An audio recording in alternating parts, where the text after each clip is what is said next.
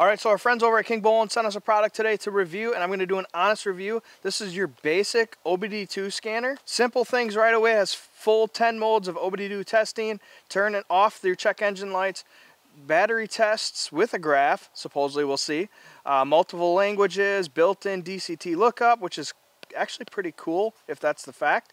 Um, 1.8 inch color screen, and then it supports 1996 and newer OBD2 cars. So right of the back, it's pretty simple. You've got up and down arrows. You've got to enter, kind of like an OK, and then you've got a, a, a back label. Um, you've also got a piece of plastic on here. And then it comes with a very, very basic quick start guide here that pretty much anybody can go through and figure out how to use this thing. So we're gonna go ahead and utilize this on my wife's minivan here, the Chrysler 2014 Chrysler Town & Country, and then we also will cross-reference it to the 2004 Chevy Duramax to see how it performs between, you know, basically like a Mopar and then um, the Chevy, the GM. So we're gonna go ahead and test this out. So the first thing you need to do is locate your OBD2 port, and it's gonna be different on every vehicle, but most likely it's usually right here basically just plug it in. So now that we've got it plugged in, no power on, no ignition on, we're just running off of 12 volts um, from the car itself, from the OBD2. You have your diagnostic, your DCT lookup, your voltage test, your options, and then your about, which your about is, you know, just the information about the controller here. Um, your options are going to be your language. See, you've got multiple different languages here. Definitely enough languages for, I think anybody can get this figured out. Uh, reselect English. Your units of measure, which you've got metric and English. Um, and then we've got our self-test. So let's take a look at our voltage test. Obviously, since we have voltage right now, our status is good. We got 12.3 volts. We can actually test to see if the alternator is working as well. So we can do that by turning the vehicle on, but we're not going to do that right now. So go ahead, put your ignition on. So we're going to go ahead and hit the diagnostic. Um, wow, that was that was pretty quick. Um, there's your information. So you go back now one. You've got read codes, erase codes, live data, freeze frame, which is kind of cool, vehicle info, O2 sensor test, component test. Okay, very interesting. We got a lot of got a decent stuff. The freeze frame is actually pretty cool. But before we go to the freeze frame, we're going to go ahead and read these codes. Stored codes. P0128 is our code, and it actually tells you what the code is right away instead of having to look it up. Alright, so now let's go to the live, the freeze frame, which is really cool, I think.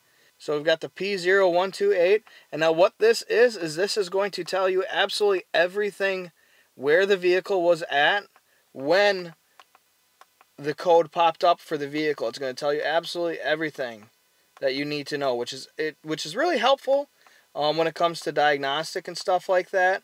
Um, again, this is just kind of your basic reader though, so you don't really need, you're not going to get a lot of out of this. Um, so unfortunately, that's just kind of how it is. So for my honest opinion on this, I think it's like $15 on Amazon. I fully believe everyone should have some type of scanner like this. You really can't go wrong with it. It does really well. We'll do a voltage test and show you how you can see if your alternator is working or not on here real quick. Um, anybody that owns a vehicle needs to have one of these in a glove box. It's very light. It's very small. You can put it in your glove box. You won't even notice it. But it's going to save you a lot of um, worry when your check engine light comes on. They're very simple to use. You, you plug it in, you turn your ignition on, you leave your ignition on, and then you go through and you can go ahead and do it as simple as this. It's got four buttons. Very simple. Um, again, like I said, this is something that absolutely everyone I do believe needs to have in their vehicles. It saves you a trip to like say AutoZone or something like that. Um, and a lot of people for some reason don't like to go to AutoZone or all the other parts stores for check engine lights. They like to take them into the dealerships or into uh, mechanic shops. You don't need to do that. Simply by spend $15 on something like this. I'll leave a link in the description below for this specific one. I'm actually a really big fan of it because it's really easy to use. Um, it does really well. We're going to go ahead and cross-reference it to my truck now. Um, but it, before we do that, we'll do the voltage test. So I'm pretty impressed with it. In my world, I need more of like a actual physical scanner and not something like this. But this will be nice to have. I'll keep it in my wife's vehicle for, you know, circumstances like if that check engine light pops up and I want to know what it is on the fly. This is exactly what that's for. So now we're going to go ahead and do that voltage test. And you can see we're sitting at 12.2 volts. Now I'm going to do something here that tells me not to do. I'm going to start the vehicle. And look at that. Now you can see you went from 12.2 or whatever to 14.3. And that just is basically showing you that your alternator is actually charging. So something as simple like this, you can even do some diagnostic with it. Um, but like I said, it's just basically your check engine light reader is what it is, is what it's designed for. So for $15, I highly recommend this little thing. All right, so here's the Duramax. We're doing some landscaping right now. So like I said before, all the OBD2s are kind of in the same spot. Plug it in. Boom, look at that, we've got it on. Um, we're just gonna go ahead and do a diagnostic right away. Detecting, taking a little bit longer than the Chrysler. Really not too terribly long, especially considering how some scan tools take. My goodness. There we go. Communication errors. Oh, but uh, look at that. look at that. That's pretty cool. I forgot to turn the ignition on like an idiot. And uh, says, one, switch ignition on. Two, check your uh, connections tight. And three, verify if the vehicle has OBD2 co compliant. That's pretty cool. So if you don't have your ignition on, like me, spaced, now my ignition's on, this will actually tell you the steps to take care of it if it's not working. All right, so now we got this, we're gonna go ahead and do the diagnostic. Again, this is really cheap. Um, one, so I'm curious to see how it handles with the ECM and TCM. Uh, let's see here, and I'll go back from the status. Module, $10, module, $18. It's interesting. I'm assuming that's that's the different